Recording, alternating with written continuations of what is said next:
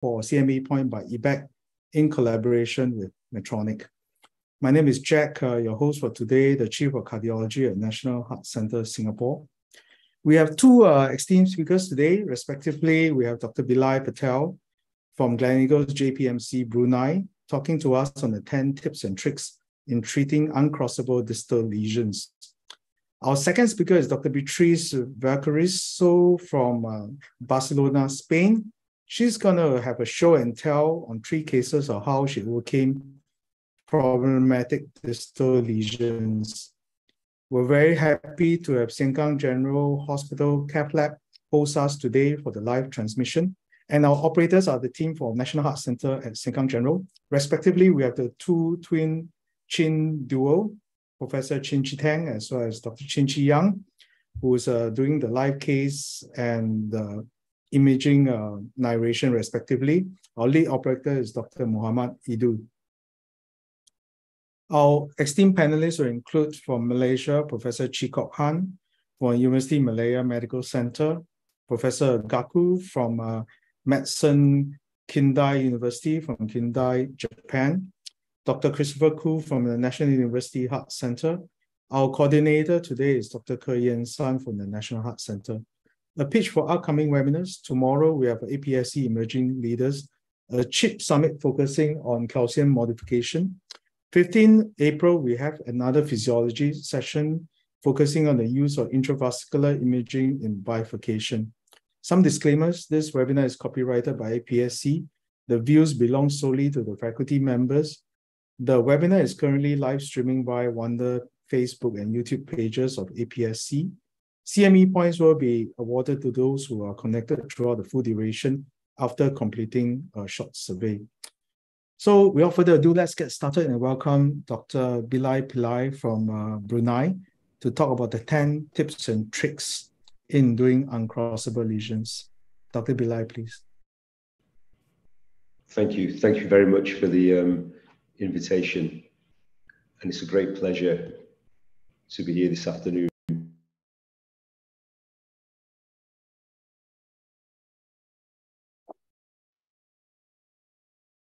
Sorry, Dr. Bilal, you are muted. So Bilal, we can see your screen now. Uh, please go ahead once you are muted. Okay. Yeah, go ahead. Uh, your, your screen popped out again. Maybe you can share again.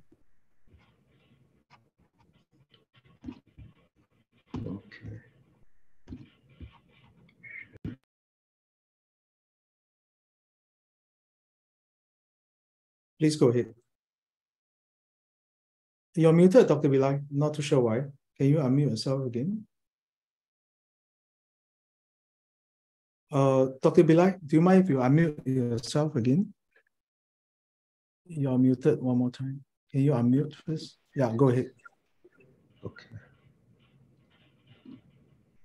You're good now. Okay. Can you hear me now?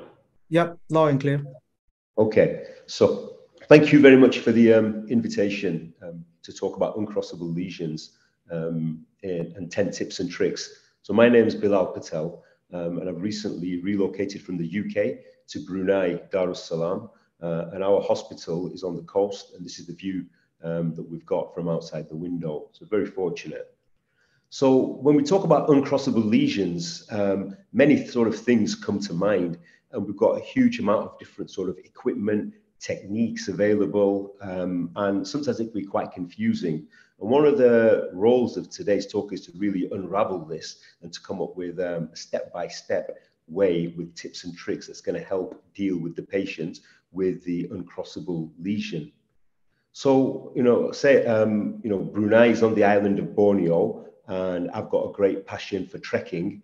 Um, and there's not much in the way of sort of hills and mountains where we are, but there's plenty of jungle. And trekking through the PCI jungle um, is very similar to trekking through the jungle itself. And when we're dealing with the uncrossable lesion in complex PCI, a lot of sort of planning has to go into place. And, and it's similar to when you, you know, you're going on one of these walks, you're planning with equipment, your routes, and, and the team that you're going to have to have, and sort of any safety equipment that you need. So what's the definition of an uncrossable lesion? It's those that cannot be crossed with a balloon after successful guide wire crossing. And how much of a problem is it, the, the uncrossable lesion? So, you know, the, this group looked at over sort of eight and a half thousand CTOs in 10 years. Um, and this is looking mainly at CTO patients. Around close to 10% of all CTOs you're able to cross with a wire, but you wouldn't be able to cross with your device or balloon. It's the second most common mode of PCI failure. The uncrossable lesion um, patient tends to take more time. We're using more radiation, more contrast volume, and you've got increased um, adverse outcomes and MACE in this group of patients. So are we able to identify these um, beforehand? You know, can we predict? So these patients generally have got more calcification, more tortuous vessels. Often they've had previous bypass surgery, um, and there's a higher incidence of in-stent restenosis in this group of patients, and they've got higher JCTO scores compared to those without uncrossable lesions. So in navigating the uncrossable lesions in PCI, it's very important we use the right tools. And we're going to go over some of these, including the sort of you know, guide support, guide extensions, microcatheters, balloons, and atherectomy devices. So with two main concepts when we're thinking about navigating the uncrossable lesion, um, and one of them is how do you increase support? And this can be done in many ways, which will be discussed. And the second is, is there anything we can do at the lesion level that's going to make it easier for us to cross the uncrossable lesion? So now I'm starting off with my 10 tips and tricks. And we have to start really with um, a really solid foundation. And part of the solid foundation of complex PCI is ensuring that we've got really good guide support from the outset. And with the guide support, we're relying on contralateral support of the aorta to provide support um, of the guide. So it's important that we use the right shape of guide that's going to provide support and also the right size of guide. For difficult uncrossable lesions, uh, and I said before that a lot of these are in CTOs, but often we will find them in non-CTO patients as well, starting with a large lumen guide, seven French guide um, up front is wise. And sometimes you may even decide to go bigger, but generally seven French will, will do the job. Um, and this is a trade-off here between using an aggressive guide for support and the risk of dissection or damping of pressure. So tip number two is use of um, guide extension. So there's a whole host of tools that we've got available to us, and, and it's important that we try to utilize these um, in, in the best way possible. So guide extensions is quite a clever, it's a very simple invention that's been around for a few years now. Uh, and these are um, extensions that we pass over the wire that provide additional support and is able to often we can get the guide extensions deep into the vessel to provide significantly more support. So there's a, a quite a few of these on the market now. I mean, the guideliner has been around for a long time. Um, we've got the telescope from Medtronic that's got very good deliverability, the Guidezilla, uh, the Guidion, and then there's others which have got balloons incorporated into them, such as the TrapLiner, which is sometimes used for ADR CTO cases.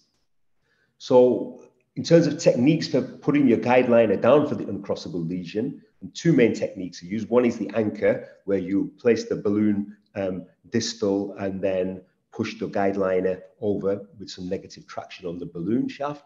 And then the inchworming technique um, is the most commonly used, where you pass the guideliner down and then inflate a balloon half in, half out at low pressures. And as the balloon comes down, you then push your guideliner over, inchworming it further down into the vessel, which is a safe way of putting your guide liner or guide extension, which you choose deeper into the vessel. So tip number three is use of um, low profile balloons. Uh, in PCI, the first, um, often the first thing we'll do is go with a small balloon, particularly if it's a very tight stenosis. And in terms of low profile balloons, there's many different balloons available on the market um, to go, and a lot of these are quite similar. Some have got different crossing profiles. Um, one of the tips is to use a longer balloon. If we go for quite a short balloon, the, the middle marker um, on the balloon is where actually the diameter is greater. So the lowest crossing will be at the, at the tip of the balloon. So if we go for a longer balloon, it allows more of the balloon to go in to the lesion before you get the area where the marker is, where the diameter is bigger.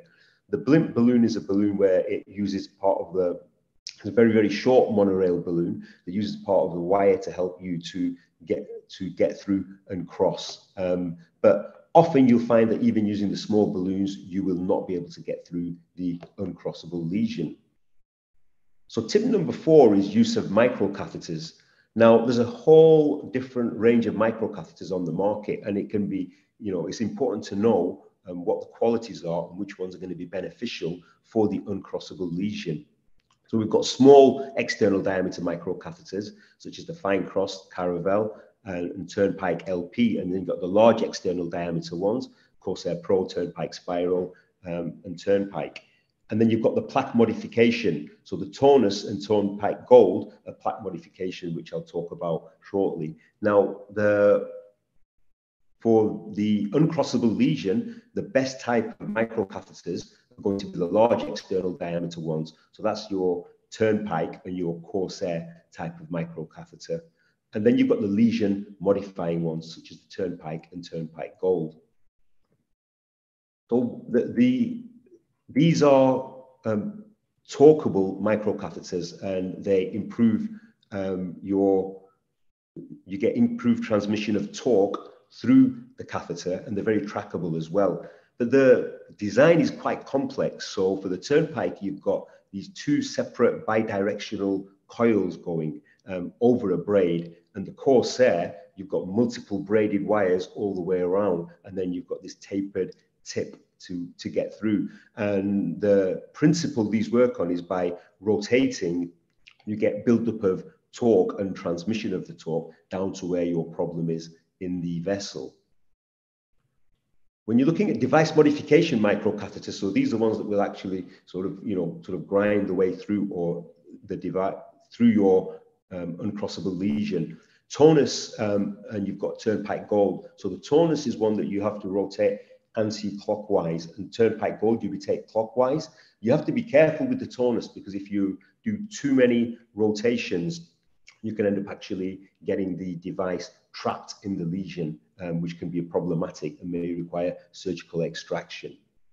So the other thing to um, mention with these microcatheters particularly the, the the turnpike body of microcatheters you've got the turnpike spiral which has got a nylon um, sort of spool around which helps you go through difficult lesions. So tip number five is using anchoring. So we've got some options that we can use with balloon anchoring.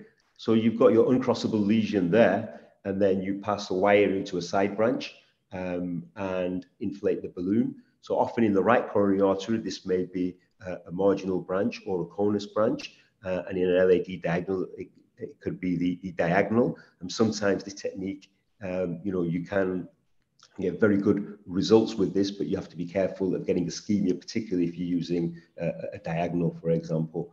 Um, the balloon anchor goes up. This provides additional support. And often with that, you'll either get your balloon through, and if you don't get the balloon through, it's very useful to get your microcatheter through the uncrossable lesion. So tip number six is um, grenadoplasty, and this is where we burst the balloon in the uncrossable lesion.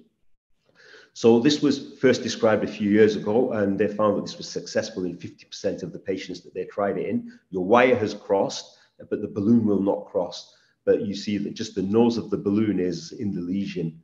Then you inflate the balloon to bursting pressures, and then quickly deflate, deflate the balloon, and then take the balloon out. And then when you pass with another device, be it another new balloon or a microcatheter, then often you'll find that this will have um, modified the disease to be able to get through. So tip number seven is using something called the wire cutting technique. So this is where you've crossed the lesion. This does require passing a second wire through the lesion. And then you, you inflate one balloon over one wire deflate, and then you put a balloon over the second wire, take it down to the lesion, inflate again. And you do this repeatedly with a sort of seesaw cutting technique. So this group compared this technique with the Tornus and actually found that you had significantly increased um, device success and procedural success using the seesaw wire cutting technique. So that's another option available. And then we've got um, more aggressive techniques such as atherectomy. So the, the two main modes of atherectomy used are, is rotational atherectomy, and then you've got laser um, atherectomy. So with laser atherectomy, um, the, the benefit is that you can use the wire that is already crossed. So that's the benefit with using laser to be able to get through the device and crossable lesion. You may run into trouble if the severe calcification um, and it's one of the markers of um, what your chance of failure is going to be with the degree of calcification that's there. With rotational atherectomy, um, you cannot, you, you need to use um, a RotaWire or, or, to be able to perform your rotablation. So you've still got the issue of getting um, either exchanging the RotaWire, which will mean putting a microcatheter beyond the lesion, or wiring with the RotaWire, which can be very difficult in these complex lesions. But what is generally advised is you pass your microcatheter as far as possible, sometimes with the use of anchoring balloon to get the microcatheter distal um, with the nose nudged into the lesion. Then you'll exchange for the RotaWire. Um, sometimes it will pass, sometimes the RotaWire will not pass, but if you can get the RotaWire through, then you're able to perform your rotational atherectomy and finish the case. So now we're going to tip nine, and this is where we're going for um, sort of the CTO techniques, causing dissection and then um, re-entry. So there's, the, there's a, a number of um, potential ways of dealing with this. Now you already have a wire that's through um, your uncrossable lesion it's important to remember at the outset that we need to confirm that the, the wire is in the true lumen. So if it's a CTO case, then you know you'll have your retrograde injection to confirm where you are. Then with the second wire, you're creating a dissection. And on the second wire, then there's two ways of um, finishing the case. You can use the second wire in the dissection plane and blow a balloon up in there to externally crush the lesion from outside thereby modifying it to be able to pass devices on your first guide wire. So this is known as subintimal external crush technique. And the second is performing standard dissection re-entry using um, either Stingray balloon or one of, one of the um, other dual lumen catheters, such as a recross, to re-enter. But now you're going into sort of techniques where you know you um, you know you have to be familiar with these techniques and you have to really try um, your other techniques before going down down this um, this line. And finally, tip number 10 is making sure that you know that um, you've got a great team on board with you because for these these cases you need the planning, you need the mindset, you need the team to be on board. They can often be quite long and they can be difficult. So it's a really important part of, of the 10 tips and tricks. So I've got a case example here of a right coronary artery, which has got um, in-stent restenosis CTO with symptomatic angina, and we went with an antegrade approach with retrograde injections. So there's the um, uh, occlusion within the stent.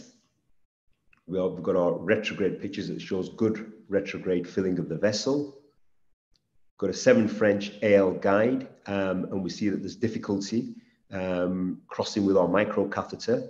So we've tried a microcatheter turnpike spiral, and now we're using balloon anchor technique. With the balloon anchor, we're able to get the turnpike round and then switch over to a RotaWire, rotor blade, and then you can stem the vessel. So in summary, you know, important that you've got good guide support and guide extension. It's the, the basics and foundation. Then use of balloons and microcatheters and anchoring. You can consider using the seesaw wire cutting technique and, and micro dissection or grenadoplasty. Then you've got rotational atherectomy and laser. Um, and then finally, dissection reentry or subintimal external crush techniques. Thank you. Thanks, uh, Dr. Patel. Indeed, that was de force on uh, all the tips and tricks I've ever seen before. So that was fantastic. Um, maybe I can get a round of comments from uh, our panel of very experienced interventionists here. D Dr. Gaku, uh, which method do you ideally use actually uh, among all the tips and tricks here? And, and Thank what, you very much. So no, nowadays, I think uh, the most of the operators use uh, guided extension for the first uh, for the first option. And if it doesn't cross, and then maybe you use anchor balloon technique to cross the microcatheter to distally and then change the RotaWire. That's the, I think, regular way to approach distal uh, uncrossable lesion. But uh, I have uh, one question to Dr. Patel, and uh, how often do you use laser, excimer laser uh, catheter to cross the distal lesion? I have so, not many experience of. Uh, likewise, so I think it's something we had in one of my previous centers I worked in, um, but the um, availability is, is limited, yes. mainly because the, the hardware is um, very expensive. Yes, um, that's right. And if if your um, EP team are using the laser machine for extractions, for example, then it's very easy for us just to get the catheters. But if they're not, then it's very difficult to justify um, the additional cost, particularly with all the other tools that we've got available. Thank you. Um, Han, is there a difference in the algorithm? Because not everyone has all the toolbox of laser and stuff. Well, what is your yeah. flow? Is it guide extension first and then, or do you upfront try to do some atherectomy to ease the passage? I think what Dr. Patel mentioned is very, very good in the sense that go back to the basics, get the get a guide with a good support first. I think by changing the guide somehow solve quite a few problem of uh, crossing the devices across the uncrossable uh, lesion. But I think in that situation, I also use quite a lot of uh, guide extension. I think that is a very, very important tool to actually have in a cath lab. It actually solve uh, a lot of uh, problem for me in, in my setting. Uh, I do a lot of angling technique also, uh, but I have to be uh, uh, honest that I don't actually have laser in my lab. And uh, I have yet to actually use a rotablator straight away to, to go uncross. Uh, I'm not sure whether the rest actually has a much better experience than me.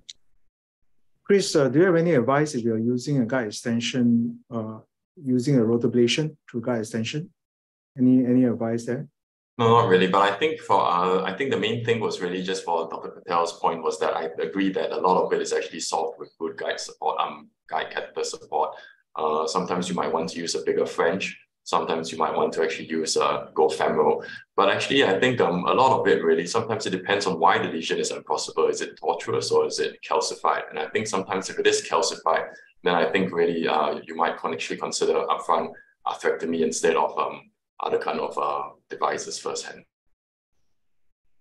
Uh, Dr. Beatrice, uh, anything else to add before you go to the live case?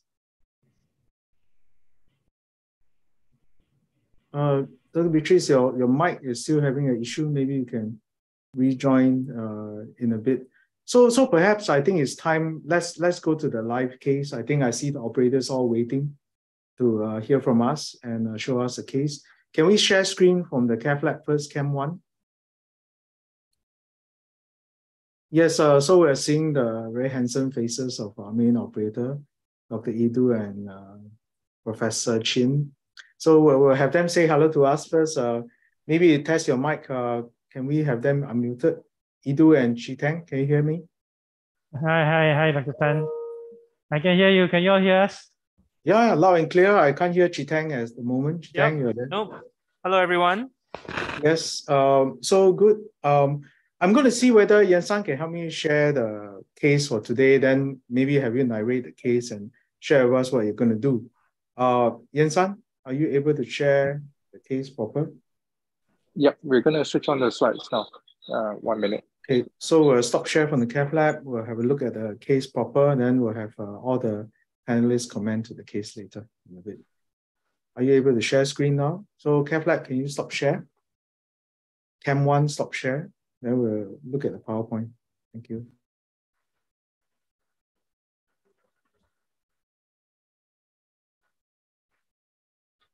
So maybe Idu, you can start off by telling us about the case we're going to do today. Okay, so our patient is a 76 year old gentleman with a prior medical history of hypertension, dyslipidemia, as well as newly diagnosed diabetes. He was actually admitted mid of uh, March for NSTEMI with uh, heart failure. And uh, at that time, coronary angiography showed triple vessel disease with the culprit being uh, ostial uh, LAD. So he underwent a, a stent, uh, trio by 48 stent from the ostial to the mid LAD. Uh, his ejection fraction at the time was uh, preserved. Um,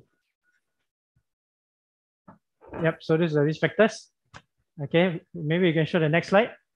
Uh, his labs, he has this uh, mild anemia, which is uh, microcytic but, but chronic, probably uh, some kind of a cell. Creatinine is normal. Uh, LDL is uh, elevated at 3.0 and HbA1c is elevated uh, 6.7. Next. Okay, so this was actually the pre and post uh, LAO cranial shots uh, for the LAD. Uh, so it's a long uh, 3048 stent. Uh, next slide. An cranial view. Yeah. So it might be difficult to appreciate, but actually the ostial uh, LAD was actually tight. The circumflex had moderate disease and we decided to treat that medically. Uh, so I'll, can we go on to the next slide? So the right, however, also has uh, diffuse uh, moderate and severe disease uh, from the proximal to the mid. Um, and that is actually our target for today. Uh, there is some calcifications that you can see. So that's why we're here to discuss uh, what else we can do. Next, he's uh, he is because of the anemia and his age, uh, he is considered a high uh, bleeding risk based on the DAPT score as well as the PRECISE-DAPT score. Okay, so that's our target, the right, and uh, maybe I'll discuss with the panel uh, what our strategy should be. Um, so maybe you can share screen from the cath lab again uh, and show us uh, angio again, if you may. Okay. So uh, this is actually just a shot on the left. So it shows the left, uh, the stents are patent. Okay, and it's a large uh, wraparound uh, LAD, so it's more like a co-dominant kind of system. And this is actually the right. So we actually took an uh, initial shot, and there's a wire to, to measure. Um, so again, there's diffuse disease. And uh, what we've done so far. Okay, yeah, so Jack, so this is uh this is today's shot. Maybe we can get some comments. So so in summary, we have uh we are targeting the RCA, very diffuse lesion. The, the whole RCA essentially looks diseased. La. So um, and there's calcium as well as, as Muhammad mentioned. Um, angiographically, it's not very clear how calcified, how, how um, difficult this um, case may or may not be.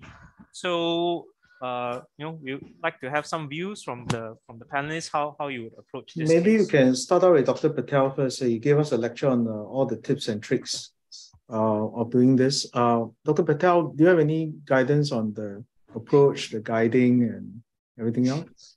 Tap Yeah, so can you I continue to share screen?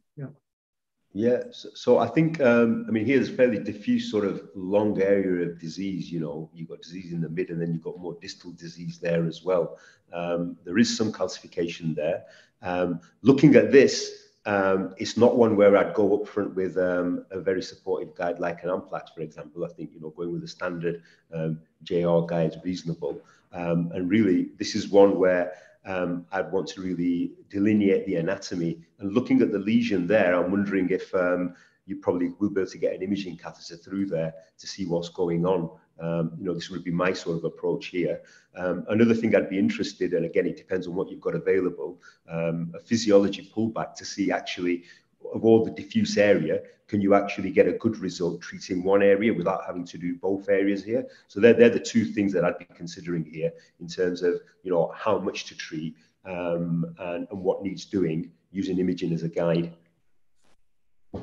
Thanks. Uh, those are excellent points. Uh, uh, Kok Han, how about yourself? Is this a radio straightforward case? Groin, and uh, we have done the same guiding. I think the RCA, I always uh, felt that RCA is something very, very, uh, we always uh, underestimate. So I actually very careful whenever I see RCA. So in this situation, looking at the uh, the lesion that you have shown us, Uh, I, I would have actually used a much better support guide. I may actually go in with seven French. In this situation, because uh, I don't I can't see very clearly from here, but if the calcification is quite uh, diffuse, I would go through femoral road because I might need to put in a temporary pacemaker if I'm going to do a rotablation. So this will be my consideration when I'm looking at the RCA that uh, you're showing me now. Would um, Dr. Beatrice, uh, would this case be something you'll do imaging up front or you'll do some form of atherectomy based on the angiogram? Dr. Beatrice, uh, your mic is okay. Uh, still, we can't hear you very well, Dr. Beatrice, uh, with the microphone. So we'll go to Dr. Gaku. Um, Dr. Gaku? Yep. Uh, so the for the right coronary artery, I usually use IL Ikari depth catheter for this uh, kind of lesions, and uh, since this is there's no branch for balloon anchoring, I think it's a good branch for the uh, balloon anchoring. So maybe I use IL uh, four and uh, for six French from radial, and maybe in Japan we do imaging up front to see. What? I mean, both. I mean, it can be OCT or it can be IVUS, but uh, if you are not used to uh, familiar to OCT, you can use IVUS as well.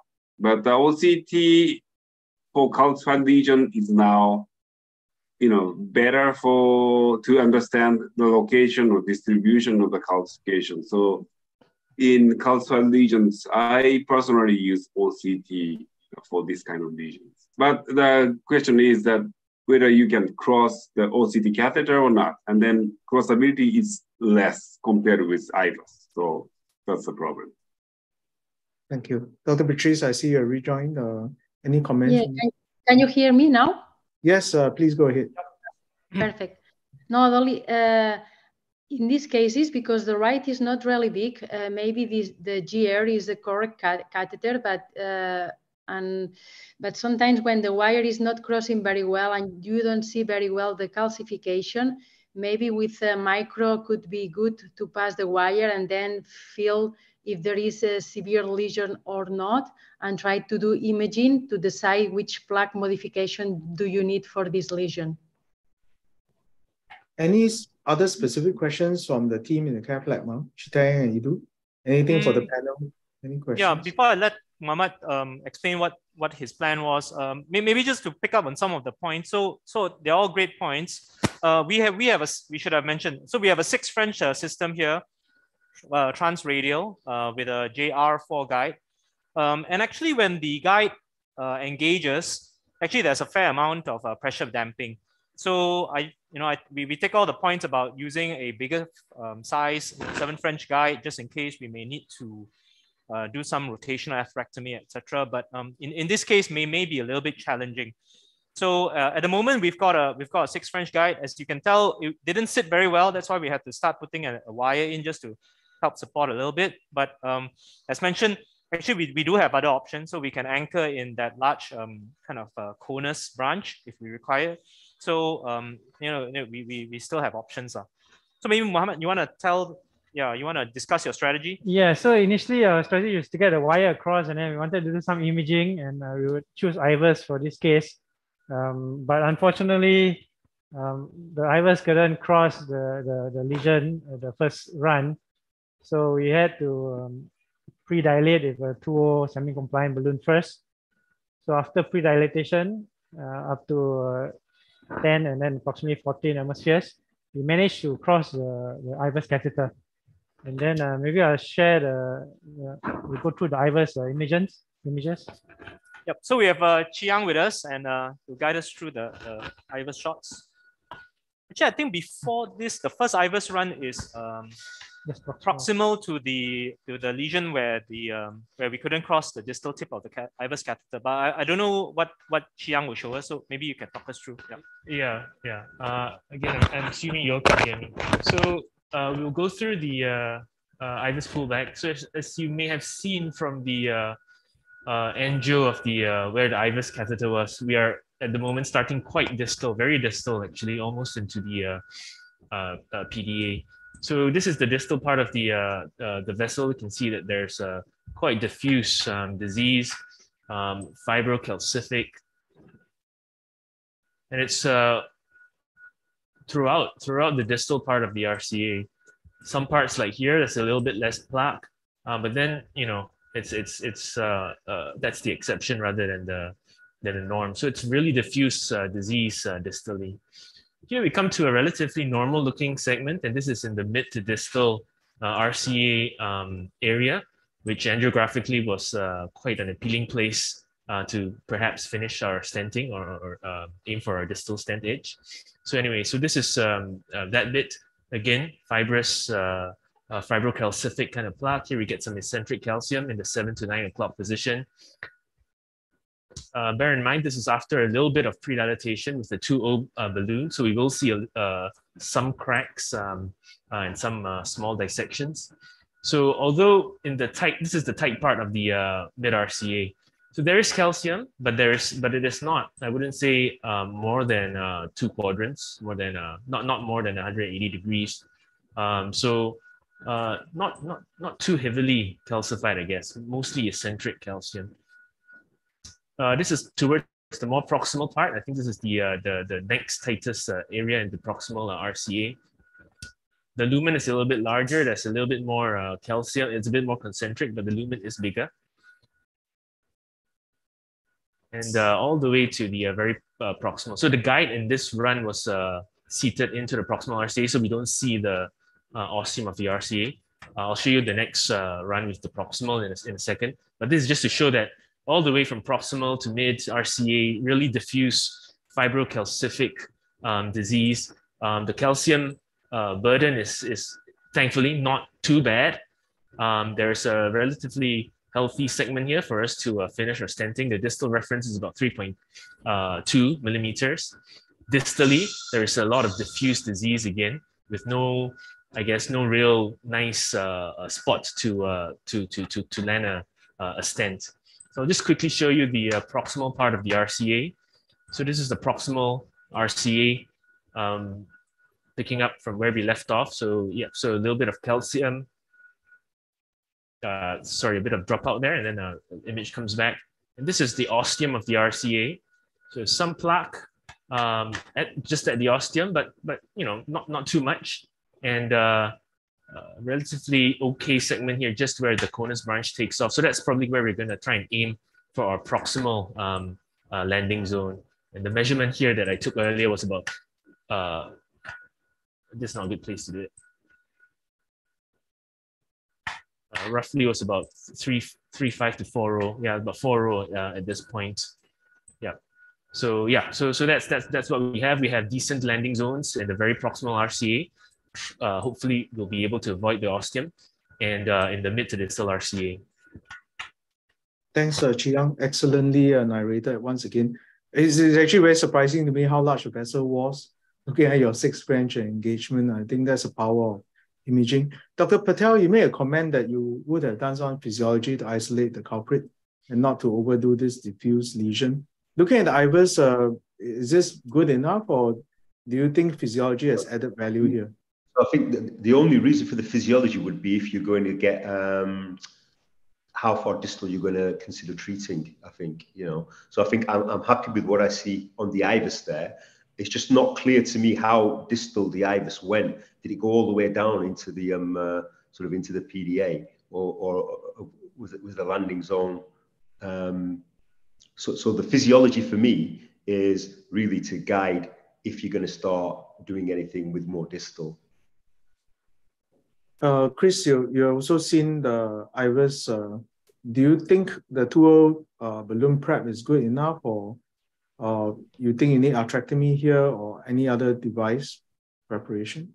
Yeah, no, actually, I'll be honest. Um, I thought it'd be a lot more calcified because I think when initially put cross, I mean, part of me was thinking what I'll do upfront atherectomy, but I think it definitely needs a lot more lesion prep before you were going to implant anything further. But thankfully, at least the calcification isn't just that, isn't too bad, only in the proximal section. Dr. Gaku, you, you, you must be expert from Japan in imaging.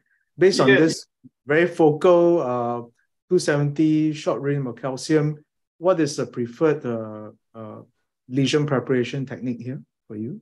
I think you know if you you, you don't have much experience of using rotablator or OAS, maybe you can use go with just a cutting balloon or high pressure balloon for this lesion. But uh, if you were to modify calcification a little bit more, you can use shockwave balloon.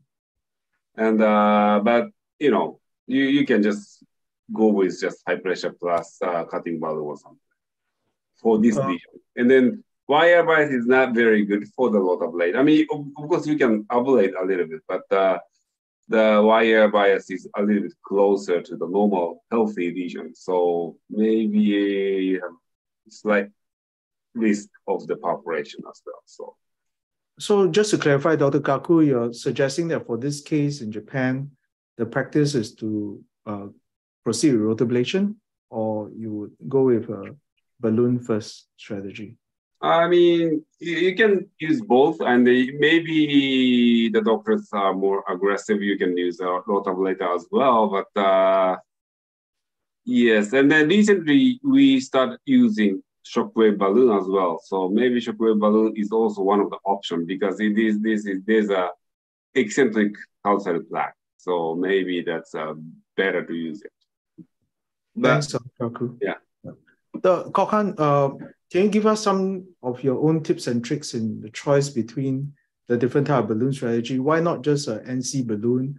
How do you size the if balloons and uh, the difference between the different scoring balloons? Uh, for this yeah. I mean, just a quick question before that. I mean, during the run two, I was around frame uh, 1006, 1007. Uh, I see a lot of calcium on nearly, yeah, exactly somewhere around here. If, if I may ask, are we seeing a calcium nodule here or you think it's just calcium? I think it's difficult to distinguish between calcium nodule versus a sheet of calcification by IVUS. But uh, maybe there are some calcium nodules, but uh, most likely those calciums are seed of calcium. Chi, Chi yeah, any yeah. any guidance on how do you tell? Oh. Maybe you look at this image frame here. Yeah, the, the one that yeah. has a blackout. Yeah, I, I, I would agree with uh, our um, uh, Japanese colleague that it's it's more difficult to tell on uh, IVUS than uh, uh, on OCT um, the, the, the typical appearance of a calcified nodule is usually that it protrudes uh, into the lumen. Um, it's got a, an irregular kind of surface, uh, usually with a signal dropout um, be, behind it, uh, even on OCT because of the presence of uh, thrombus or fibrin on top of the uh, uh, calcium spicules. Um, here, I, I think you know it'd be hard to to, to to know for sure. Um, but just I don't know, just from pattern recognition, I, I would think this is not um, not so typical of a, a calcium nodule, uh, and more more just uh, you know calcium that is uh, grown into the grown into the lumen. Dr. Beatrice, does it really matter to you? Will you just go and dilate and see whether it opens, whether you think it's calcium or calcium nodule? Well, in my opinion, seeing the IVUS, there is a moderate calcified lesions in the more severe part. Uh, so the problem, you don't have a lot of uh, guide support because it's a small artery. Maybe I, I pass a second wire, a high support wire, maybe uh, extra support Sion blue wire, and then try to predilate with a cutting balloon. I think the Wolverine is navigating very well. So try to open with a cutting balloon will be enough because uh, by IVUS is more moderate calcification more than severe. This is my my opinion. Thanks maybe a lot for all the suggestions. Jack, maybe I can tell you we're yes, we, yes. Yeah, we, are just gonna move on a little bit because the, the we, we don't want to keep the patient here too long. So um so so we totally agree we need a bit more lesion prep. So we've decided to go with some scoring. Uh, we, we don't we have chosen not to go up front with the rotor at the present time. So you can see this balloon um, passes. It's not not not the smoothest, so that just shows really that there is um, quite a fair amount of calcium there. And we've chosen a scoring balloon. Uh, Muhammad, you want to mention what balloon we've yes. uh, chosen? So using the Scoreflex Trio, which is uh, supposed to have three areas where you can score from the two scoring wires and one uh, wire. So it's actually an uh, upgrade from uh, the previous version of Scoreflex. Think uh, Chee Yang has a fair amount of experience with this. So Chee Yang, you want to just explain a bit more about this? Yeah, so so this is the this is a new balloon from uh, uh Orbis. Uh, like Muhammad said, it's an upgrade of the uh, NC Scoreflex, which I think most of us are familiar with. So the NC Scoreflex balloon, um, there is a, a, a short, I guess, monorail kind of thing, and you have an integral wire uh, outside of the uh, balloon. Uh, so when you go up with the balloon, this integral wire gets pressed against the uh, uh, the plaque along with your guide wire. So you have two, you have kind of like two wires pressing against the plaque with the NC Scoreflex. With the NC Scoreflex Trio, T-R-I-O, there are two integral wires, and those two plus your guide wire uh, gives rise to a, a three cuts. Uh, so supposedly, um, you know, gives you a more more circumferential, I guess, uh, cuts. You get cuts at 120 degrees separation rather than uh, 180 degree separation. The uh, cross, crossing profile of the balloon is not compromised by the uh, additional integral wire because they've uh, minimized or, or uh, miniaturized, like, the, uh, the the size of the integral wire. So the uh, crossing profile is is preserved. Um, so it's it's quite a quite a quite a uh, an easy balloon to use. You can see um, it, it's expanded pretty well. Um, yeah, and, and and you know for those who like scoring balloons, um, this is certainly a, a, a I would say a, a, an upgrade. Yeah. So so I mean with scoring, um, you know, you, you go up a bit slow just to make sure that the scoring elements dig into the plaque. Yeah, and then with this kind of um, NC non-compliant system, you can actually um, also use the higher pressures to you know further optimize your, your cracking. Yeah? So so that's a it's a nice kind of marriage between uh, these two technologies. Uh, Chee Tang, uh, this is what size? And if you're using a Scoreflex versus a Wolverine, based on the imaging, is there any sizing tips and tricks uh, between the different scoring balloons?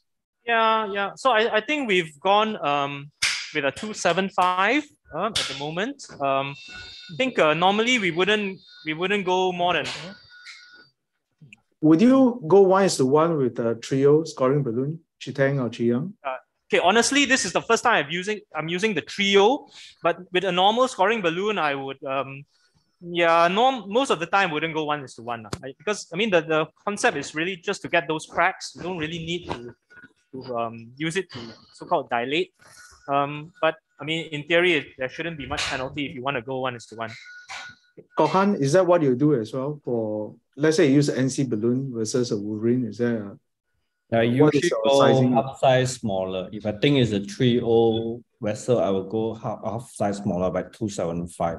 Uh, I think I agree with you. I think we are just trying to open up the crack uh, and, and extra force may actually end up impinging on the softer side of the plug and cause perforation. So I usually go about half size smaller. So uh, distally, it looks like a trio vessel. Uh, most of the guys here will use a 275. Dr. Patel, is that what you advise as well?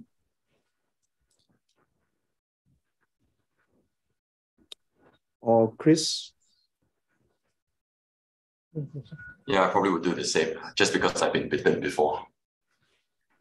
Uh, doc, Dr. Gaku, if you're using an NC balloon, will you just go with a trio or 275 as well?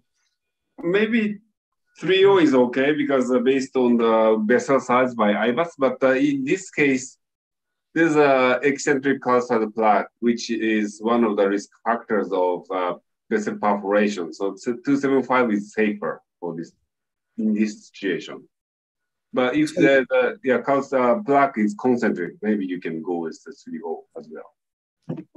Thanks, Dr. Gaku. So it's very nice to watch him do everything live, uh, video. Now we're looking at uh, IVUS. Uh, Chee Yang, you want to take us through? Yeah, so this is the IVUS pullback after um, uh, the uh, 275 uh, NC Scoreflex trio. So we can see that there are some cracks here in the uh, calcium. Uh, the lumen is uh, appreciably uh, bigger than before um, the uh, le- lesion preparation. See some uh, dissections, which we expect to see after a balloon dilatation. This is a live pullback, so I can't pause the the image to show you, but I thought I saw um, some cracks um, there earlier. So late, later, maybe we can go through it a little bit more slowly. But this is again pulling back. The the I, I think there's uh, adequate um, lumen gain, and uh, I see enough cracks for for us to be quite confident uh, with uh, stent deployment. So anyway, let's let's go back again.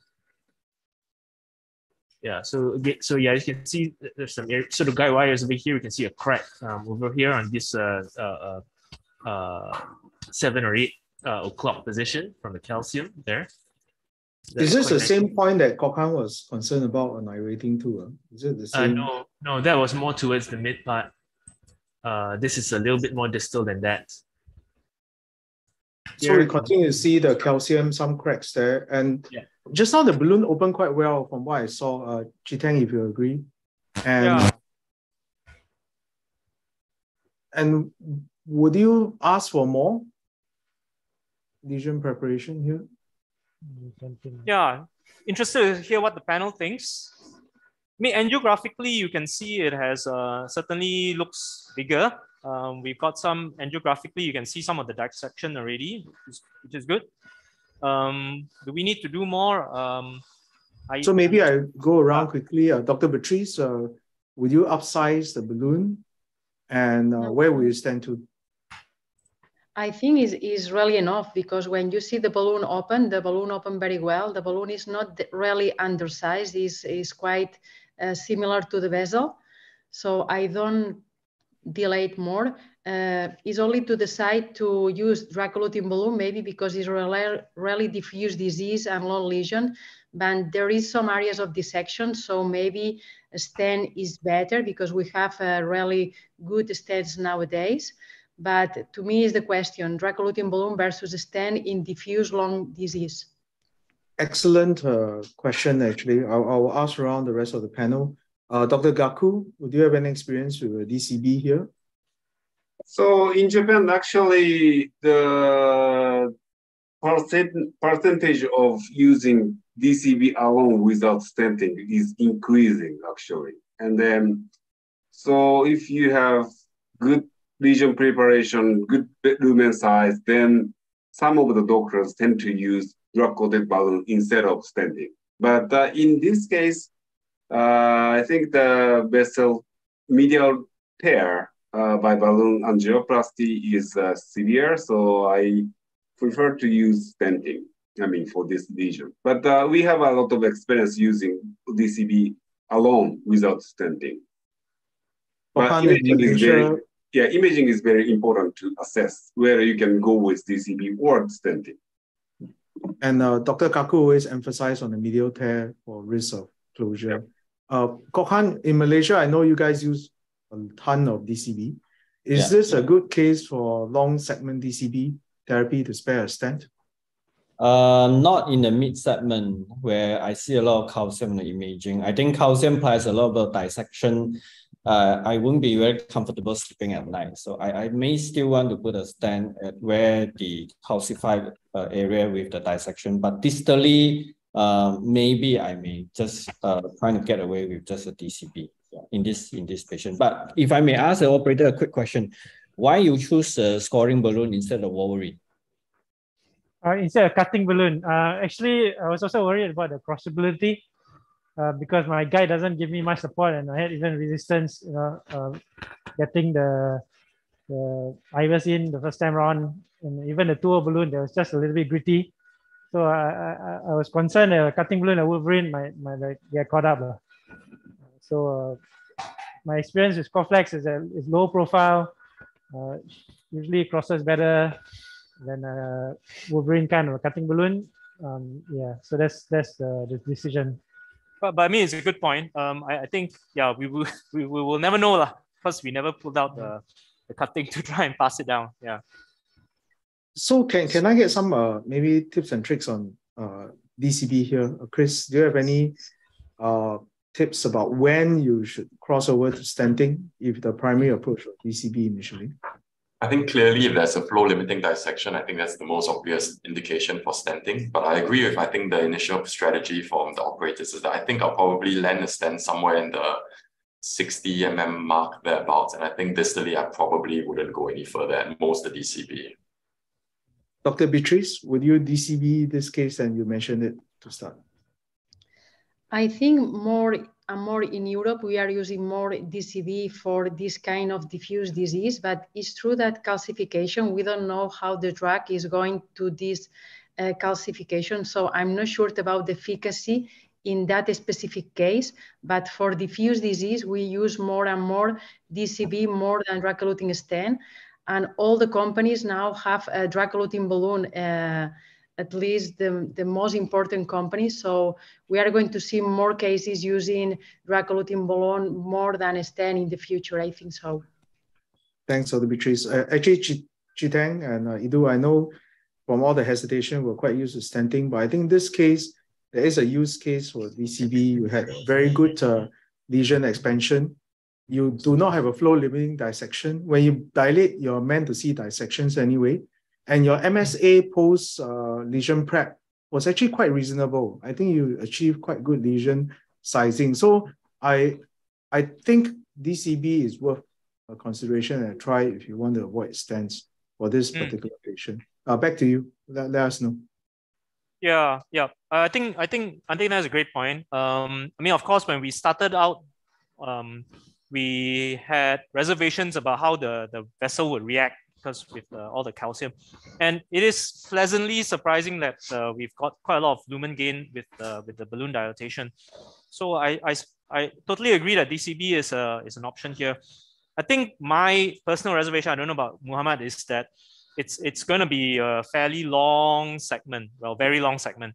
So whether we're going to have two overlapping DCBs or some kind of hybrid approach, um, uh, that's certainly possible. But you know, at the back of my mind is also wondering about um, what additional benefit would there be as compared to if we put into overlapping stents. So I think for a younger patient, maybe there is an uh, there's a case to argue for not caging the uh, the artery at, at, a, at a younger age.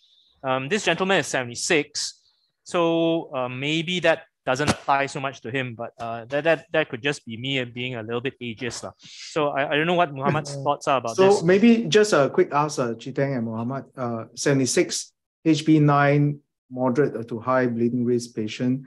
Will you think is equivalent between using a, a one month or shortened DAPT versus a DCB approach? Uh, would that yeah. also factor in any I, I think it's uh, equivalent because the short DAPT stents, uh, you can tolerate one month, and this gentleman doesn't have active bleeding. Uh, you, you could choose a short DAPT stent of DEB.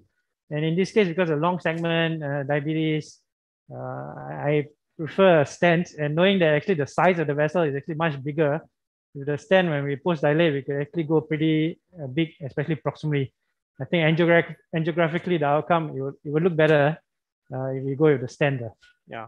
Yeah. And, and I think that's a great point that you brought up, Jack. Um, and, and I, I think maybe I don't know whether it was a kind of like a trap or a trick question, but as you know, there is actually no good data in, um, you know, for to, to guide DAPT duration, DCB, high bleeding risk. So, so we can't be totally sure that um, it's, it's any much more safer than if we had put in one of these stents that have been tested specifically in a high bleeding risk uh, population. So mm. we'll go with you, Chee Tang.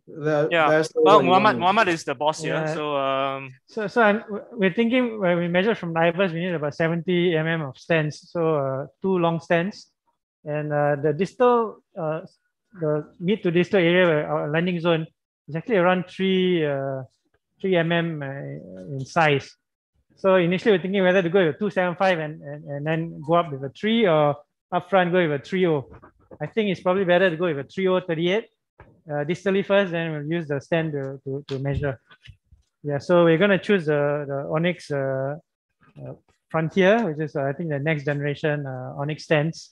Uh, it's also a short, short, the short DAPT stent, similar to the, Resolute Onyx. And um, yeah, and it's supposed to have a lower profile, so more crossability. Um, let's put it to the test then. Yeah, yeah, yeah. I think this would be a good good, good stent choice. I mean, as uh, Muhammad says, we have data from uh, Onyx One about, uh, you know, with regard to its use in a patient population that is pretty much what our patient is, right? Elderly, HB less than 10. Uh, you know, that trial shows very clearly that uh, it is no worse than um, any uh, the other stents that have been uh, have been tested in this um, in this sphere when compared to a bare metal stent, which used to be the standard of care. And um, we also shown how um, actually we this is not this vessel. We've talked a little bit about it. It's not so straightforward. So wow, okay, so it's just kind of sailed right across. Even as I was trying to build up the the story. Okay, so small test. Okay, so this is good that we have a first use uh, case in Singapore for trio as well as uh, Yep. Yeah, Frontier, if I really sailed across there, Yeah. I think Muhammad's skill uh, probably. Okay, looks good. Looks good. Yeah, I think we have enough length. Yeah, actually. yep. Looks looks nice. And uh, we actually didn't want to overlap too much inside uh, at that tight lesion area, and, and we managed to uh, miss that area. That's good. So okay, so we are going to nominal, which is 12. Opens up quite nicely actually. Let me see it again just to see the expansion? So actually, one of the reasons of choosing DCB alone is uh, you don't have any landing zone for the stenting, for stenting. And in this case, I think, like you guys said, I, I, I think there's a good landing zone, health, relatively healthy lesion to land. So maybe, you know, stent for this the case is good. Yeah, yeah, absolutely right. Because we had such a such a juicy spot there. Yes, So, yes. yeah, we got tempted by it, and uh, you know, we, we we fell to temptation. So uh, yeah, our not so great. You want to measure with? Yeah, yeah. Uh, I haven't included yet. Yeah, yeah, around that, yeah, Sini, right, yeah. yeah, around that branch, right? Okay, see. Can use this much shorter. Yeah, got it. Yeah. Usually at this stage, I, I do put in the IVUS again just to use the IVUS to mark the length of the stand if you're standing manually, yeah. But you, you've decided to put in another stand? Yes, yes, yes. That that is our intent. Two overlapping stands. Probably three, five approximately. This is quite long. Yeah, I think the the the ostium is like four rows, so I think three five would be great. Then we can um we can uh adjust uh, accordingly to get as much gain as we dare. Yeah. So Are, question are you going to put in a stand now or IVUS? So Um. I mean, Yep. We can. Why, why don't we take a shot first, just to make sure there are no surprises? Yeah, let me engage a little bit better. Okay, sitting here. Why you no need to do now?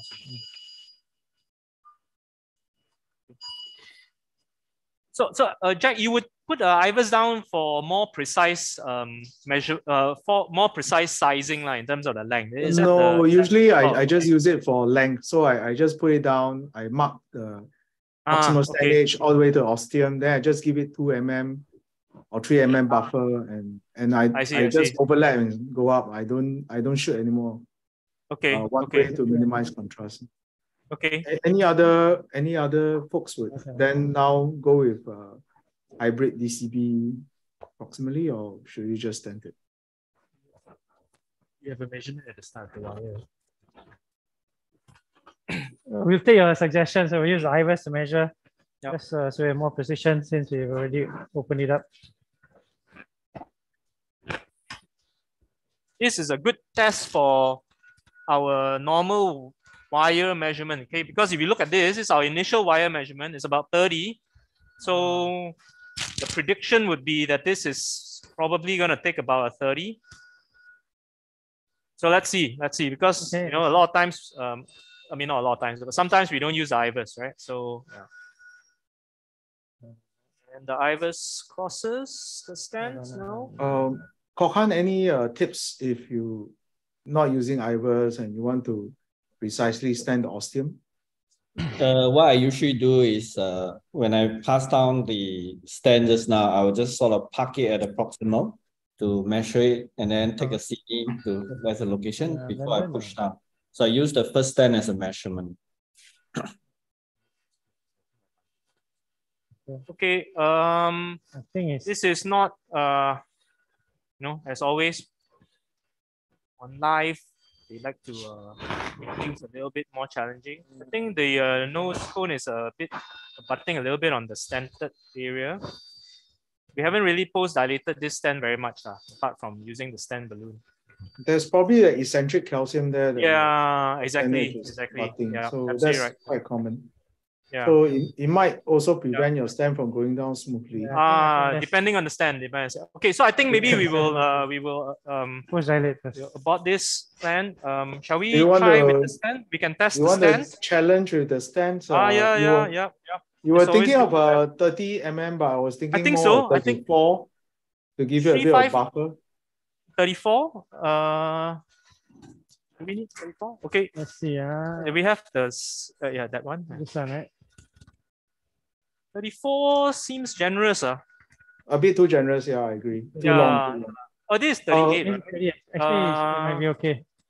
Yeah, yeah. Uh, Okay, actually, I think 30 should be okay. Uh, yeah, I, I think any- 30 lah, 30. Any advice? Kok Han, Beatrice? Are you going uh, to stand to the ostium? You might need a bit. No, no, we want to stand to where that uh you, you saw that Conus branch.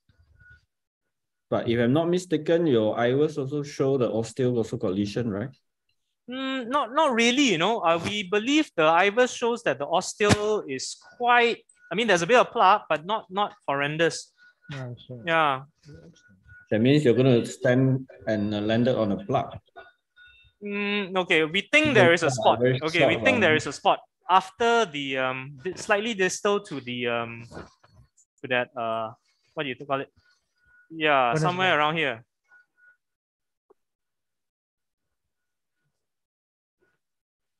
Okay, this this part the IVUS can can reach, so we can show you.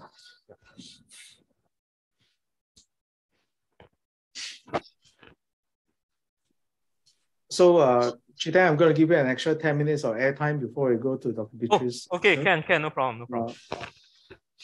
So you decide whether it's showing us on IVUS, pre-dilating, or delivering the stent. Okay, so so let's let's do this. We're gonna quickly put in the IVUS. We just confirm that the ostium we can. Okay, enough. We will confirm that we can leave the ostium alone. Okay. You want to disengage your guide? Yeah. Okay, this is for Kok Han's benefit. Let's see Ah. whether No, no, no. It's important. Actually, it is important. Uh, you, do you want to do a manual? Oh, you or- haven't. Uh, okay. No, no, no, no, I just pressed. Sorry, I thought you activated. the pullback. Uh, Okay, this is pulling back from that. Um. Yeah. So, I mean, looks. You look. You think it's okay? The the that ostial area. Kok Han or Chee Yang? What do you I, I you think? Had one frame that is a bit clear, but I think it's actually got plug. No, it's it's got a small amount of plaque. Um, I think the uh, risk of Sticking it out. yeah, Yeah. it's not worth uh, covering this amount of plaque. Uh, so I, I would recommend uh, going aiming for that branch. Okay, give me a three five thirty. So that, this is this is the branch nine o'clock, and that's the aorta out here. So this is you know there's, there's a small amount of plaque up there. Uh, I I- I don't think it's worth. Uh, I mean, you Let's can't, stand by a you can't cover it without sticking your case it into the aorta. cross. So you know. Yeah. Yeah. So okay, sorry. Uh, we, we take all the points, but we will. Uh, we we're gonna try to uh, spare the the ostium. Hopefully, you don't regret this move. so three five thirty, and if it doesn't, um, if it knocks against the other stand, then we will post dilate a bit. Yeah. Enter. For this type of wire bias, sometimes really a body wire is very good.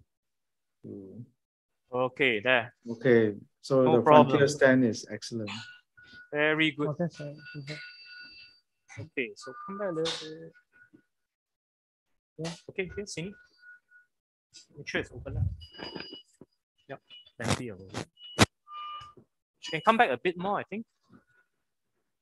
Come back Uh, probably have to come back at least two mm more, I think. Yep, yep. Maybe the 34 that's was good. a better idea. Huh? Okay, okay, Sini No. I, I think it's good. There's still quite good overlap. Oh, Uh, ostium already. ostium, right? Uh, Uh, is your stance okay. overlap? If your stance overlap, Yeah, this yeah. may be good too. yeah, okay, we just then- go in half, half. No, no, I, I think this looks very good, you know. I, I Huh? like this. Okay, I like okay, this. you like this, you like this. Okay, one more time, one more time, Vicini, just to make sure everything is still staying. Yeah, I, I prefer to go in a little bit so that we don't have any sticky out thing. Yeah. thing. Yeah, just just a little bit. Yeah. Hmm, I, I think this will cover the. Yeah, yeah, okay, okay, here, yeah, yeah. Okay, yeah. Cindy here, yeah. Uh, anyone's recommend, Chris or Beatrice? Is this okay? Yeah, I think it's perfect. And sometimes if you have a stem boost, it's also perfect to see you are overlapping very well. Okay, it is to 12. Down. I think your 30 mm is just nice, Chee Tang. Uh,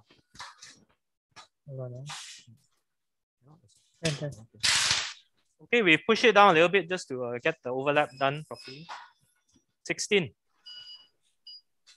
Yeah, just too lot. Yeah. Okay, down.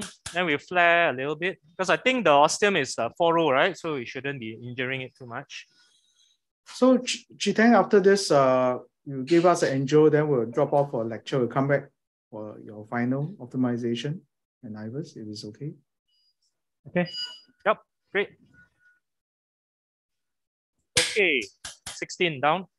So we just need to post dilate, right? Slide it. Yeah, he wants a picture. Slide it. Slide, slide, slide, slide. slide.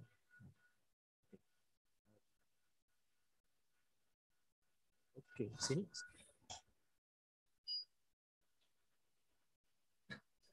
Wow. okay. Okay. Looks decent. Okay. Okay, Ken, we will uh, do a bit of plastic surgery to this, make it look a bit nicer, and then uh, we'll catch up with you later. Okay?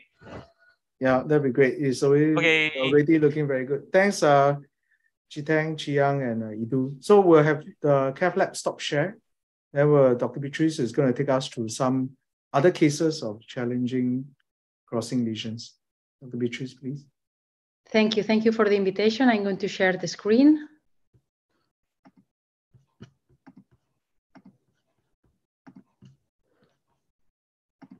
Can you see my, my slides? Yes, please uh, go ahead. Okay, thank you. Uh, before to start uh, presenting some cases, I, I want to say that I think we have several techniques to increase the guide catheter support uh, in this scenario to treat distal lesions or tortuous, uh, or tortuous segments before to distal lesions. We have active support, passive support, body wire, more and more we are using guide extension catheters and in the past we use more anchor techniques. I think these techniques can also be used in combination and it's not less important that if we have calcification, before all these techniques or in combination, optimal plaque modification is really important. And also it's important to check your materials, your balloons and your drug eluting stent characteristics because in this kind of lesions, you need a lot of pushability and delivery of the balloons and stents. So this is the first case. That was a 70 years old male with a lot of risk factors, hypertension, diabetes, dyslipidemia, and former smoker. The patient in 2022 had acute coronary syndrome and a stent was placed in the left circumflex. And that patient has a CTO of the right coronary artery. That patient was referred uh, for, uh, for angina you can see the renal phenol was normal and the ventricular function also was preserved. This is the first, uh, the first lateral STEMI. You can see the circumflex was occluded here. And also you can see some collateral circulation to the right coronary artery. We pass a Sion wire to the circumflex and you can see that was a severe bend comparing to the left main to the circumflex and we have some problems to, to pass some small balloons. So we use a body wire technique that means to pass a second wire and advance an onyx frontier that was easily implanted. Uh, this is the final result after post-dilatation. So this is the first technique using high support technique as using body wire. It gives only mild to moderate support. We use uh, more uh, in Europe, Sion Blue extra support more than BHW or Grand Slam, but these wires are really supporting wires. The same case, we have also the passive support. The passive support that means using bigger French and also the, the shape of the curve of the guiding catheter could be Amplatz that give more support and also using anchor, anchor technique, placing a balloon in the atrial branch in the right coronary artery because was already calcified a tortuous CTO of the right coronary artery.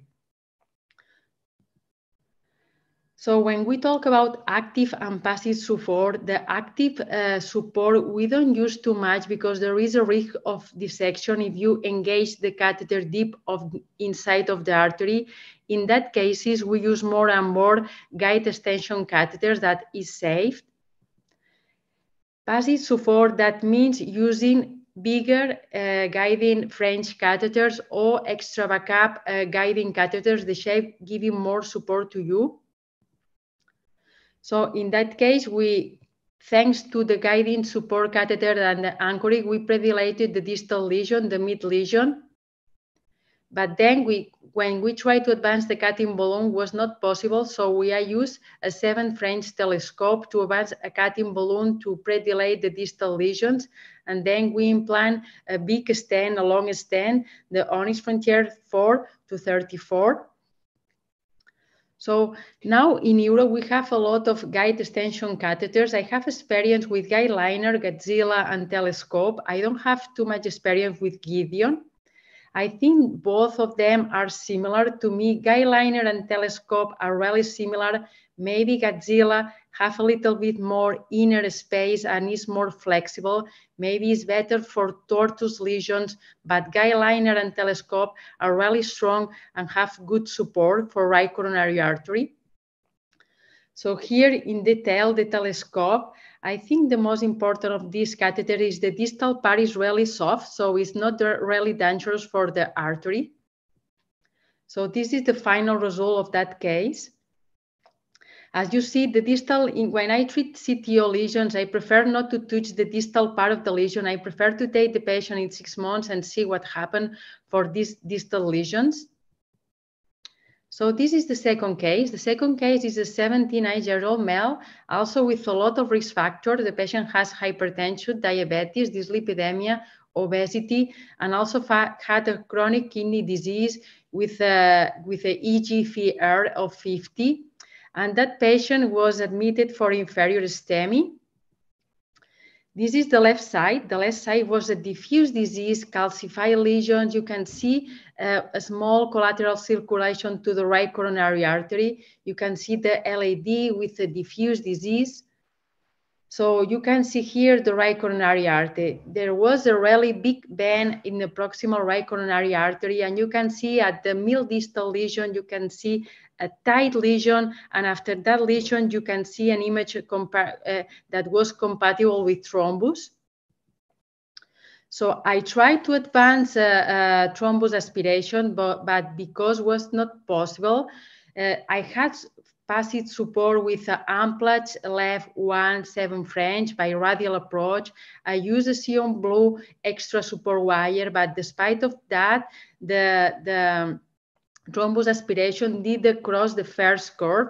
So I decided to predilate with a small balloon, and then you can see that there was a lot of uh, thrombus. There, there was a, a, moderate calcification in the mid distal part, but also was a really tight lesion in the origin of the PL. So here I use a guide extension catheter to advance the cutting balloon to treat the distal lesion. You can see here that was well open. Before the cutting, I used non-compliant balloon that was not well open. So then I advance the distal stent. You can see here the onyx frontier that advanced easily to the lesion that was prepared before, a cutting balloon. They are implanting a second frontier in the mid-distal part, also helping with a, with a guide extension catheter. Then I post-dilated all the stents, were not overlapped stents. And you can see here the final result.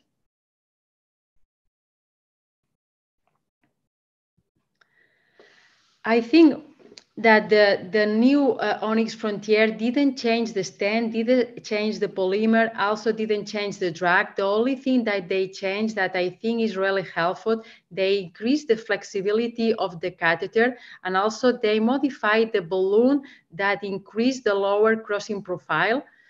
So I'm not engineer, but I feel that this stand is, is quite competitive in terms of delivery. I'm not sure if it's better. They, they told us that yes, but I'm not, uh, I'm not sure 100%, but I feel that I'm not sure it is better than the old one, but in, I feel that in that kind of tortuosity distal lesions is a really good, good stand. So this is the last case, is a 74 years old mare with hypertension, diabetic, dyslipidemia. That patient had a moderate to severe COPD and also has a peripheral disease artery and is a panvascular. So the patient has a chronic ischemic heart disease with unstable angina in, in 2005 that was implanted a drug-eluting stent in the marginal brain we controlled that patient in 2013 because of an uh, effort angina and the stent was patent, but there was a moderate lesion in the LAD and right coronary artery that FFR was negative. But the patient currently was admitted because of an stable angina. The ejection fraction was preserved. You can see here the right coronary artery, the LAD was similar, but the right coronary artery, you can see the aorta that was severe calcification in the aorta and in the distal part was a severe calcification. I tried to advance a small balloon, but that was an uncrossable lesion. So I used 7 French al 075 radial approach, that uncrossable lesion. So I used ROTA, first 125, after that 1.5 burr size was a floppy wire. I changed the wire through a Finecross catheter. So then the balloon, I tried to advance a cutting balloon, but was not possible is the reason I use a guide extension catheter to advance a cutting balloon. But you can see here, the cutting balloon was not well open. So I used a little plastic balloon that was a three millimeter 12 balloon that was well open. And then I advance an onyx frontier to the distal part. I use IVUS to decide which part I treat because there was a diffuse disease. So we implant this stent and you can see here the result that was quite good because was a really diffuse uh, uh, right coronary artery. So this is my uh, how I overcame problematic distal lesions. I try to increase my guide support using passive support. That means that bigger French, seven, seven usually. I don't use too much A French, only sometimes for the right coronary artery. And for the right, I use EL. For the left, I use EBU because I think from Medtronic, they give good support I use uh, body wires, but they give only you mild to moderate support. I use Sion uh, extra support Sion wire. Uh, anchor technique I use more in the past, and now I use more guide extension catheters. I know very well guide liner, telescope, and Guidezilla. And I think also it's important to check your material when you, you when you treat these kind of lesions because you need high delivery of balloons or stents lower crossing profile, and high visibility. Thank you. Thanks, uh, Dr. Beatrice. Uh, indeed, a very complimentary lecture to Dr. Patel's uh, lecture as well. Um, any comments from the panel regarding the lecture? Uh, starting from Chris. Yeah, no, I mean, because I actually haven't had the experience to use the Onyx Frontier yet, but to see the, the stand slide through in uh, Dr. Beatrice's cases, they're very nice, I have to say. So maybe when they do come over, we'll have a try as well, but very impressive. Um, the Medtronic engineer is still here. Uh, Dr. Balakrishnan, she's around. Sorry, Dr. Jack, she has already dialed, uh, logged off. Okay. From what I understand, like what Dr. Beatrice alluded to is that the stand architecture is no different from the Onyx. It's just the balloon and the guiding platform is refined so that it's easier to deliver. They have do a dual layer, so that it's thinner and therefore the cream down profile is uh, smaller. So indeed, it does look quite impressive. Uh, Kok Han, any comments on the lecture? Yeah, I, think it's a fantastic uh, lecture. but I think I have one question is like, you, you, you, you did mention that body wire only give uh, moderate um, support. So um, beside using it in vessel where you actually have a lot of branches, uh, is there any tips and tricks to, to make sure that um, it, it actually give us more support than what you have mentioned? Uh, sorry, I, I don't understand the question. so um, so you, you, you, in your lecture, you tell us that the body wire technique that you have shared with us uh, only can provide uh, moderate uh, support uh, at best. So my question is, uh, is there any tips that you can share with us, like where to put the wire uh, or, or maybe even angling technique that actually can improve the, the support? Yes, I usually use a, a, really high support wire, the first one, and the second is not a high support wire. Uh, and sometimes because if there is calcification, you only need to change the bias of the wires to advance the material. So it helps you a lot because sometimes is a, is a, is a thing of support and sometimes is the tortuosity and to pass the bends with the second wire help you a lot. I didn't give three wires, but now because we have a lot of guide extension catheter, in fact, I use more these guide extension catheters and I don't use too much um, anchoring balloon. I use two wires always first to try because it's fast, but the anchoring balloon, uh, because it's not compatible uh, with uh, the guide extension, I choose one or the other. So I prefer to use more and more guide extension catheters. Thanks, thanks. Uh, Dr. Gaku, do you have any experience in or further tips and tricks using body wires actually, and or so, wiggle wire? Yeah, actually, the, the first option I said I said that it was a guide extension, but uh, before that, you should try body wire as well, always, I think. And then if it, it doesn't cross, then you use guide extension. So body wire is the first choice actually. So it's good. And then like uh, like like everybody says that support wire is feasible to use the body wire technique. So I agree with. And and your anchor balloon would be after body wire fail, after guiding support fail, then anchor. Is that your algorithm now? Actually, first we try, I mean, I try body wire and guide extension. And then next step would be like a anchor balloon technique because anchor balloon technique, maybe you, you can injure the vessel by balloon inflation to healthy locations. So maybe guide extension is better to try it before you try uh, anchor balloon technique and uh, failing which you'll go for some sort of debulking or tracheotomy before you try further or so it depends. If there's a calcification then uh, then you try Rotablator or debulking devices. And then but the uncross reason is just bending or tortuosity.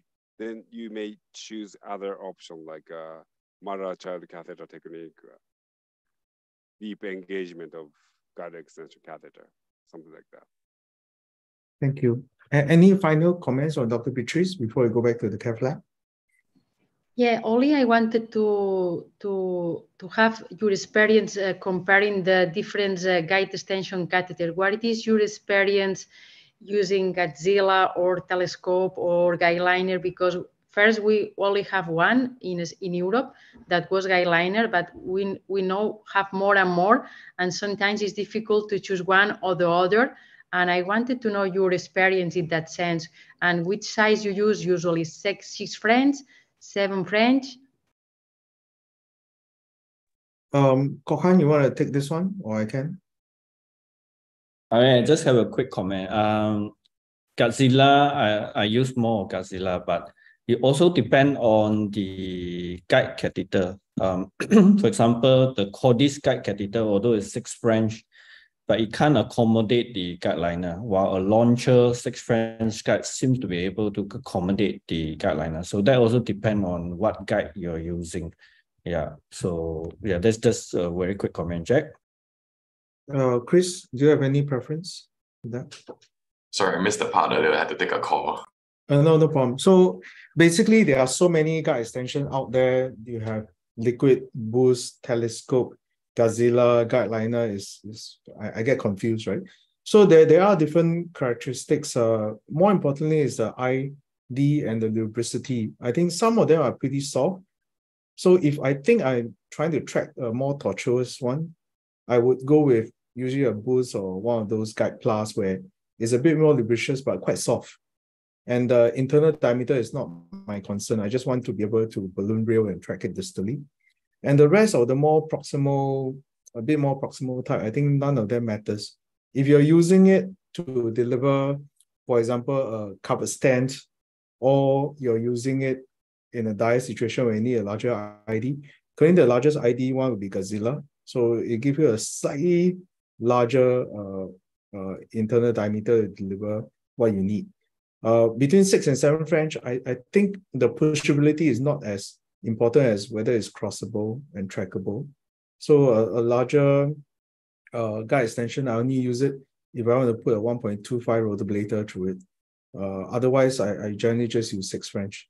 Dr. Gaku, do you have any final comments on the different guide extension? No, I, I mean, like, I mean, I agree with your opinion. We have also Guide Plus, uh, the, the, the other guide extension catheter named Guide Plus in Japan. So we actually Guide Plus is the most popular guide extension catheter in Japan, and it, uh, it has larger in diameter. So you know, larger in diameter, it's important.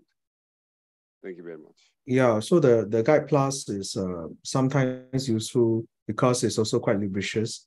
Uh, then of course some of the imaging catheter right the tip you can potentially do it for ostial uh, OCT or IVUS because you can yes. see through it. Uh, yep. So those one or two, I think telescope potentially you can do that. Yeah, telescope is good for that. I mean, maybe fast three millimeter, they don't have any wire, so you can image uh, ostial lesion. And for that reason, we use also teles telescope for that reason. But frankly, Dr. Beatrice, not much difference. Uh. I think uh, as long as you're using the technique properly, I think quite marginal. Yeah. Thanks. Thank you. So we'll go back to the cath lab. Uh, can you share screen from the cath lab? I think the operators are looking very relaxed now. So maybe we share screen from the cath lab and unmute them and see whether they can tell us what what they've done. Chee Tang and Idu, you're back. Okay, can you hear us? Yeah, yeah, loud and clear. Okay, so uh, where we left off, we actually centered the, the distal part of the RCA with a trio by uh, 38 uh, frontier stent. And then after that, we wanted to, to do an IVUS, but the IVUS couldn't pass through because of the angles. And then we had this uh, discussion on whether we can just base on a wire and estimate put in the second stent without without a post dilatation. So we opted for the latter and we used a, a trio 35 by 30 uh, frontier stent and actually went through uh, quite easily and managed to overlap. And then we had some length and then we, we decided that we're going to cover the ostium. So we put it back and we, we covered the ostium and then we deployed the, the stent. Um, and after we deployed the stent, we, we post dilated. Uh, we actually did an IVUS first, actually. Mm. Yeah, so we actually did an, uh, uh, we, we post dilated them. Uh, we, we post dilated with a 3.5 uh, NC uh, balloon. Uh, at high pressures proximally. Um, so this is actually the image of, uh, of, of, the, of the RC after we post dilate. Can we show the IVUS run then? So we're deciding whether further, not, Do you further optimize it before IVUS? Yeah, you did. Then. Okay. Uh, that's just the 3.5 NC before the IVUS. Okay. So here, here is the IVUS pullback from the uh, distal RCA. So this is the uh, distal, uh, distal to the stent. So this is the area with uh, relatively normal vessel that we were aiming for. And you can see the operators managed to uh, land the distal uh, each of the stent right there. So no distal edge uh, complications there. Um, so uh, this is pulling back within the uh, stent, some areas uh, within the uh, vessel, some areas are a little bit more eccentrically uh, expanded because of the uh, eccentric calcification. Um, but you know, we, we, we can't help that. Um, so pulling back the areas um, all look pretty okay. I'm just going to pull it back so it's a little bit faster. So yeah, again, some areas of eccentricity, but overall, uh, the, the, the, the lumen is okay. So this is uh, the proximal edge. So we want to see where our stent uh, ended up uh, proximally. Uh, we were aiming to try not to stick out into the uh, aorta. And uh, so as we can see here, right at the ostium. So, the, so the stent, I think is pretty okay. So slightly, uh, if I can go just frame by frame, there's a little, a little bit of pistoning in the, uh, during the pullback because the guy was uh, disengaged. Um, but as you can see, there's hardly any stent. There's maybe a little bit like a half a circumference of the stent, uh, just a little bit outside into the aorta, but certainly uh, uh, uh, otherwise very good uh, uh, positioning. Uh, the area at the ostium is about 10.7 millimeters square. Uh, we were considering whether or not to uh, upsize to a 4 millimeter uh, NC balloon, but everything's well opposed. The final uh, areas were pretty good. Um, so I think the uh, operators uh, uh, accepted um, those values. Um, distal um, vessel reference lumen area of 6.8 uh, millimeter square. And as I was surfing through the stent looking for areas of under expansion, the smallest uh, areas I could get were also about 6.97 millimeter square. Uh, so those are uh, bigger than the distal reference, so that, that bodes well for our uh, patients' uh, long-term uh, uh, outcomes uh, in terms of IVUS uh, findings. Thanks. Looks like How about the mid, mid RCA, the one that from the angels doesn't seem like fully expanded. Your original calcium area. Just after the RV branch, yeah, around there. Yeah, is yeah. That, is that what you're referring to? Yeah. Yeah. So that that's probably going to be somewhere around uh, here. What Would you the- have done anything different though, uh, Kok Han? Yeah. Yeah, that's why I want to look at the IVUS whether the luminal area is is good. Yeah, I'm very happy with the proximal and the distal area. But based on the angel, looks like the the mid part where the RV branch start coming in doesn't like fully expanded. So I would like to look at the and yeah, if your luminal area is, is like what you're showing about seven, then then a bit more you're more Yeah, comfortable I- with. Yeah, I I know what you mean. There seems to be like a bit of a step down uh, Yeah. after the RV branch, but I can't find any areas which are tighter Yeah. than, than I, I think that area is actually quite eccentric because if you see on the LAO, it does look a bit under, but then on the AP uh, view, you don't really appreciate that kind of uh, step down. So so I think it's a little bit of a of a eccentricity lah. We went I went agree, I up- agree. But I think that that show the importance of imaging here because when I'm not sure, just looking at the angel. um, Yeah, yeah. Yep. Uh, actually, there's a question from the audience. Uh, Harris is asking maybe Chee, Chee Tang can answer this. You were already putting such long stents. Uh, why, why were you so concerned about not stenting until the ostium? There's still a little bit of disease. Yeah, well, I think it's mainly a technical issue because you know stenting to the ostium, um, I to me increases the complexity of the of the of the procedure quite a fair bit. Yeah, you have to disengage the guide, and that makes the whole system a little bit less stable. And then um, you know because the concern is you don't want to miss the ostium if you you really want to touch it, and then of course sometimes you can inadvertently stick it out. So if you stick it out too much, there's a theoretical risk of you know thrombosis, etc. And if you ever need to come back, then uh, it's it's always very challenging. So so for me, I try to not touch the ostium unless I, I have to.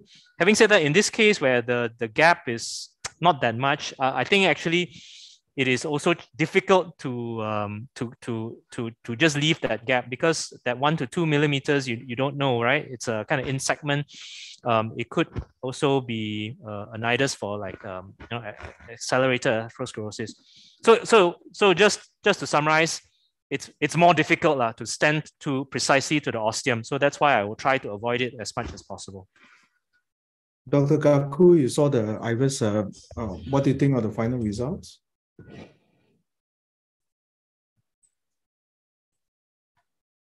Dr. Gaku, any comments from you? I think he's uh, probably can't hear us. Uh, Chris, how about yeah, yourself? uh, yeah. Can you hear me? Yeah, can hear you now. Okay, so sorry for the bad bad connection, but uh, uh, avoiding the right coronary artery ostial stenting is also there's one more reason because uh, there's a high percentage of restenosis in this lesion because of the hinge motion and uh, because, because of that hinge motion plus maybe you, if you have calcification at the ostium the rca you have high chance of restenosis. So in this case it's okay because there, there's not much uh, severe calcification or large hinge motions. But uh, in that, in such cases, you should avoid ostial stenting. I think. Thank you, uh, Dr. Beatrice. Any comments about this uh, case in general? No, only congratulate because they treat uh, a right coronary artery that was a diffuse disease that is not always easy to treat this kind of right coronary artery because you cannot use a, a really strong catheters. You don't have a good really support and they treat really elegant uh, using IVUS to see the calcification. They treat according to IVUS. They didn't need uh, cutting balloon or rota because the IVUS didn't show the signs of severe calcification. And finally, they use a, a stent that is a good choice. We have the discussion about drug-eluting balloon or stents, but we thought that in that case, because of the calcification, maybe the drug of the drug balloon was not really optimal for this case. So excellent result. Thank you. Thanks. Uh, great comments. Uh, Chee Tang and Idul, perhaps you can take us through the final uh, conclusion and teaching moments here. Mm -hmm. So uh, I think the final conclusion, this patient actually had a, a dual vessel, triple vessel disease uh, and came for a stage procedure to the right. He had a diffuse uh, disease from proximal to, to even actually distal and RPDA disease. But we elected to stent the, the proximal lesions. And uh, IVUS showed actually uh, mainly fibrocalcific, uh, not so heavily calcified. So we managed to get by with a scoring balloon. And then we put two uh, long stents cover from the ostium to, to a proper landing zone that we could find. Yeah, for, for, for me, actually, I, I, I really enjoy this case, actually. Um, um, coming in here, I was expecting something, you know, to be um, maybe very difficult, very small caliber. And I think this um, actually is very instructive because with the IVUS, we had the confidence to go really big. And uh, if you told me beforehand that we would be putting three, five uh, stents into this uh, RCA, I, I would probably have thought um, I was looking at the wrong case initially. So, so really quite surprising and pleasantly surprised by this. And um, yeah, so it's always nice to learn something new, especially on a Friday afternoon. Um, Chee Yang, you have a some uh, pearls of wisdom? nothing substantial to add. I think I think like uh, the other operators have said, it was a very fun case to do. I think I think we uh, uh, uh, uh learned quite a bit, and I think imaging really did help in this case. Um, uh, it was nice to see the the the, the products uh, uh, work as well as they did. Um, the stent was certainly very deliverable, and um, uh, yeah, I think I think overall the case was uh, uh, as good as we could have hoped for it to go. Uh, one one question for you guys: uh, How long are you putting on the DAPT? Noting that you have stents on both sides of the aisle. I think he, he came in with a st- end STEMI, so uh, we'll continue one year DAPT unless there's, there's bleeding issues. Then we will we'll shorten it. So with the ACS indication, you guys are still keen on with multiple yes, long segments yes. Still keep yeah. for a year. So again, congratulations. I, I really enjoyed your case as well. It may look straightforward, although it probably wasn't that straightforward. and excellent results, uh, imaging guided. Uh, I'd like to thank the audience for staying all the way to five o'clock. My uh, speakers, Dr. Patel and Dr. Beatrice great talks, as well as my panelists. I, I like to just state my final concluding remarks about this case. Uh, I, I thought what was demonstrative, particularly uh, one, that whenever you encounter diffuse disease, imaging guided is probably key. What, what they show out was that it did change strategy in a few ways. One, it had very accurate sizing and definition of disease where you actually need to park and don't need to do. It actually helped you define a strategy that you don't need atherectomy. You had a very good pause moment where you adjudicated that your pre-dilatation was adequate and it did help you define whether you can go with a stenting or DCB strategy based on what you saw in the dissection as well. And just to re rehash, uh, I think in the ultimate trial show us that when you do this, uh, you turn a small vessel, what looks like angiography diffuse disease, actually it's a big vessel, you just diffuse disease down. And you had uh, landing zones that didn't have dissection, you have proper sizing, you had lumen size gain that's more than 90% of distal reference. And uh, of course, you didn't land into any plug segments. So with this uh, good criteria, I think the latest imaging guided trials that ultimately show that you will have durable results. And the other important point in this case, of course, is that the patient subset beyond ACS is also high bleeding risk. So with this well-performed, adequately sized imaging guided procedure, even if you do have an occasion to shorten or interrupt the DAPT, I think you have full confidence in doing so. So in this day and age, when we're dealing with this complex calcium diffuse disease, ACS, elderly subset, high bleeding risk, I think it's beholden to achieve this kind of results that uh, the team showed today. So with that, I, I, think we also had the chance to have a new uh, pre-dilatation balloon, a trio. I haven't used it before, looks very good, as well as a frontier onyx stent that really flew down uh, that artery, uh, even when the IVUS catheter couldn't. So great demonstration all around from the team at Sengkang Cath Lab from the National Heart Center, Singapore. So that, thank you very much uh, for the two hours uh, time spent with us and uh, keep safe and uh, see you guys very soon. Thank you very much. Bye-bye. Bye-bye. Thank you. Thank you.